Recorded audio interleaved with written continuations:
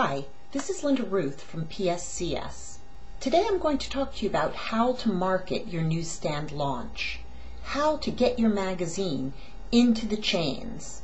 You're going to be working hand in hand with your national distributor to get into the highest quality retail outlets you can find. How do you know what the highest quality retail outlets are?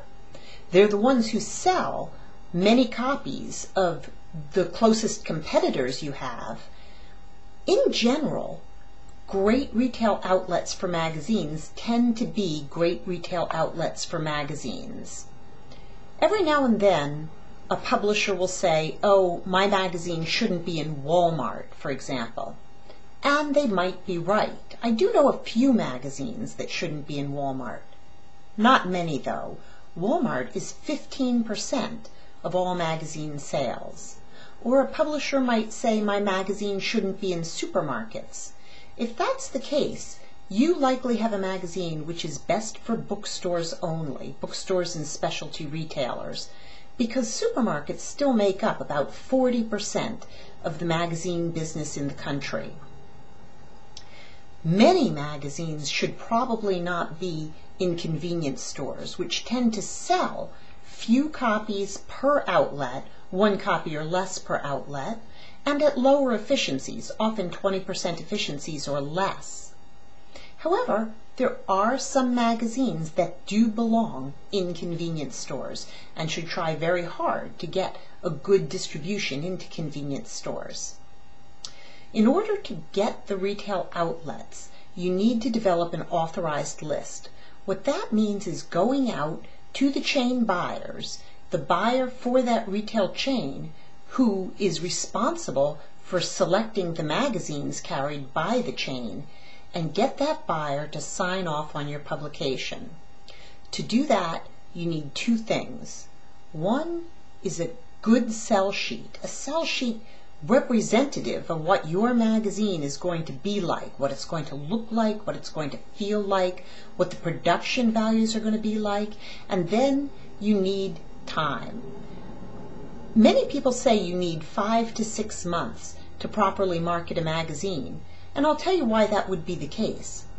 Your national distributor makes calls, buying calls on chains according to a schedule. Some chains only want the national distributor marketing manager to call on them once a quarter. If you've missed that quarter's marketing call, you might have to wait for the next quarter. So make sure that there is time for your national distributors, marketing representatives to get to all the chains you want.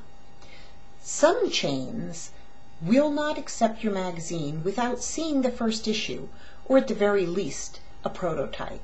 So you might want to make a handful of what we call dummy copies of your magazine, sample copies showing the number of pages, the kind of production values, the paper weight, the, the percentage of four color. Make a half dozen, 20, even 50 dummy copies and give them to your national distributor to take out. You have a better chance of getting distribution into Albertsons and Safeway and a number of other chains with that dummy as a selling tool.